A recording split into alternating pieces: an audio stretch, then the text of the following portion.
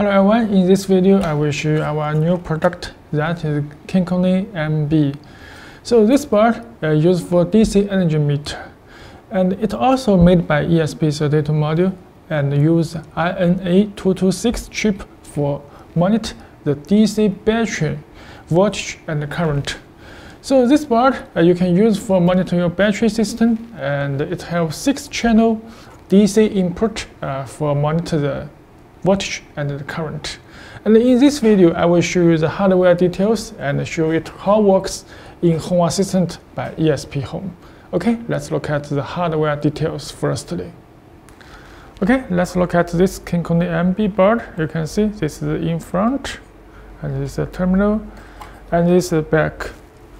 And it also supports install on the DIN rail. You can see, uh, so that you can install in your power distribution box very easily and you will see that we have also designed the new Emilian cover uh, for this MB. Uh, so let's look at how we print use our laser device uh, to print all labels on the cover.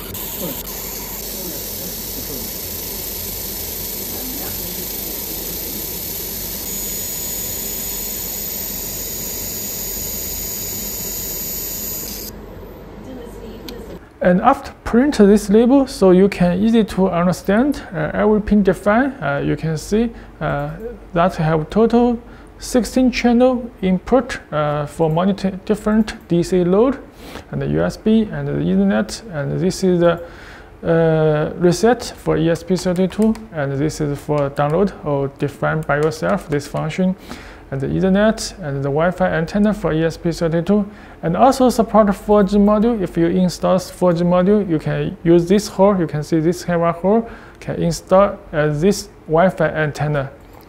And this have the DC uh, 12 to 24 volt for power supply. So you can use different power supply. And this, this is for RS485 interface uh, for A and B for RS485 communication. So you can see this have a LCD. The LCD is used by the SSD 1306 display, so that the display also supported by ESPHome. And this is the power LED. Okay, let's open this cover and see the PCB in details. And we can open this part. And I have removed this uh, cable, antenna cable. And now you can look at this PCB and this in front of the PCB. And this is the energy meter chip INA226. Uh, so you can see there are many different chip. So this every channel can mount different load by the voltage and current. And this we have used the ESP32 module. And this have a 4G socket, the 4G module socket, and this is a display. Uh, this is our 4G module. You can see this is SIM 7600. So if you want, let this energy meter date post to your own cloud server. So you can plug in uh, this module and maybe you can write your own Arduino code or configure by ESPHome so that send all this information data to your cloud server by internet. So now I can remove it. Okay, the next we will connect with a load and work in Home Assistant. I will show you how to use it in Home Assistant. Okay, let's look how to use this one and connect with the load.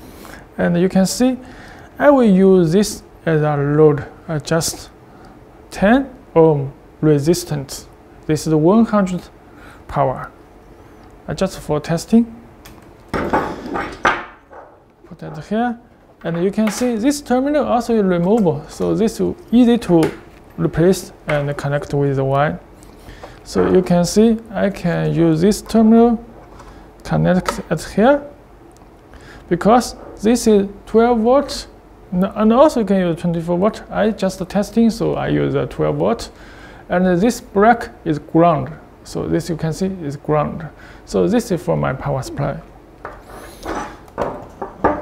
But this time I will use a multimeter. So I will test the current and compare with the meter on the display and on the home assistant. So you can see I can set to the ampere. Just uh, the DC ampere uh, use this way. You can see ampere, ampere, and put it here. Resistant, and the power. You can see the power will go through to my multimeter positive. Just connect it here. So the power will go through this multimeter and then go out at this way. Then I use a cable connect with this. This is channel 1. You can see this is channel 1 input positive and this channel 1 input negative. So I will use this small cable uh, for power in. Just connect with this one.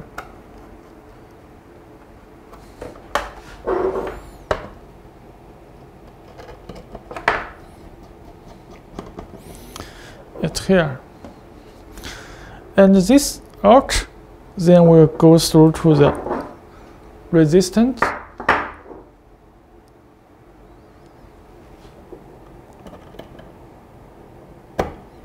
okay so now you can see the current will from this power supply go to this way and go to this meter and out of this meter and at here then go to this input positive at here this input channel 1 and this channel 1 output to this resistance and this resistance out to back to the ground.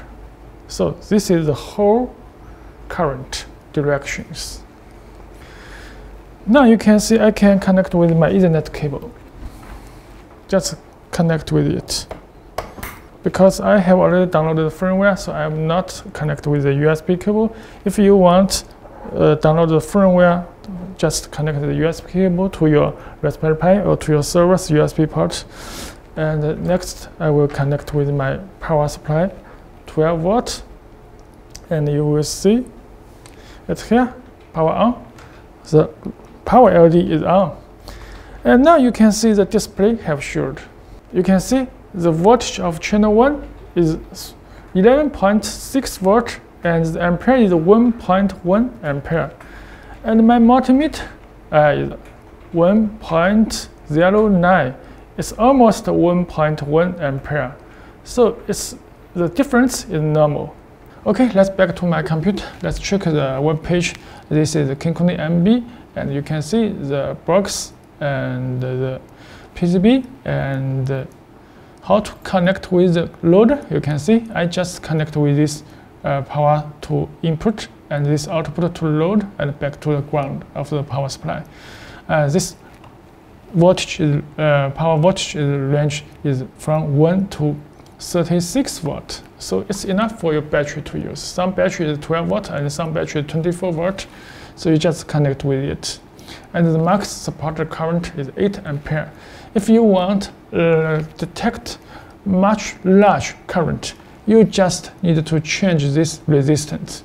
Just uh, uh, this resistance of INA226 chip, you can change this value that we can monitor different current value. Okay, you can see the pin define uh, which channel 1 and which is channel 6. And uh, okay, this is INA226 chip, so that we have used this chip. So it's very easy configured by ESPHome. You can see uh, just configure the address and uh, you can use the current and the power and the voltage. And back to the Home Assistant, you can see this is our MB dashboard. In this dashboard, you can see we can totally see six channel the energy meter. And every channel you can see the bus voltage. The bus voltage just the power of the load. And this is the current. And this is the power. The power according to the voltage and the current. And this is a short voltage. This is very slow because this voltage is on the resistance. So this is very small, very small. Uh, you can see this is the current and this is voltage and we can click and you can see the history of the voltage and you can click and you can see the history of the current. So you can see this monitor uh, the voltage and the current and for your battery. So you can connect with every different channel, such as this is channel 2 and channel 3 and channel 4 from your different DC load. So you can use this board to mount the DC battery system. Okay, this is uh, from the Home Assistant. And also you can see here in our form uh, that you can find the MB board ESP32 pin define so every pin define uh, which I2C bus and uh, I2C bus address, and you can see the 4G and RS485 pin define. You can find it here.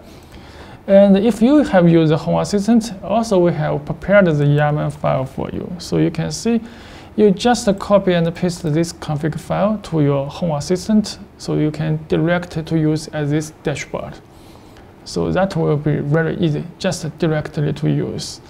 And the next, if you want, write your own Arduino source code, and we have supplied the source code demo, how to read 16 channel, the voltage and the current. This is the demo, how to read it. You can see uh, how to connect to Y and how to configure the file and how to in install and download the Arduino library and how to running this code and this is the result. So it's very details. All our code have showed the details. And if you want to use the 4G module, that is how to use 4G module to debug the AT command. Uh, this is Arduino source code. So this is very useful uh, software document for you to print your own project or print, make your own software. Okay, this is KinCony MB board. Uh, thanks for watching.